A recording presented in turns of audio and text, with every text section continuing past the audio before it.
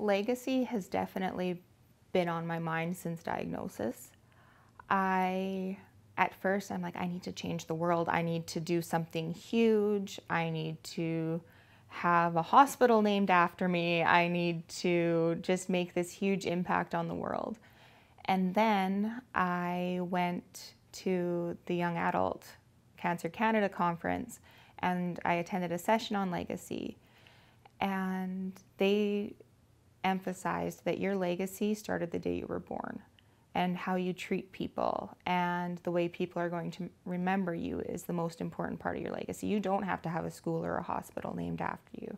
You don't have to have a park bench. So that to me was really eye-opening and life-changing. I do want of course, and this is probably my ego talking, but I do want to leave a mark in raising awareness and just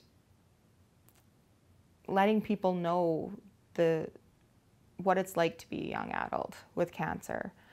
I've started about a year ago, I started Tumor Tuesdays where I just post on social media certain information and statistics and bombard people because one of my main goals is having it like cancer. One in three people are going to be diagnosed with cancer in their lifetime. It shouldn't be a taboo topic. We shouldn't feel uncomfortable when we talk about it. So I try to spread the word and discuss it as much as possible.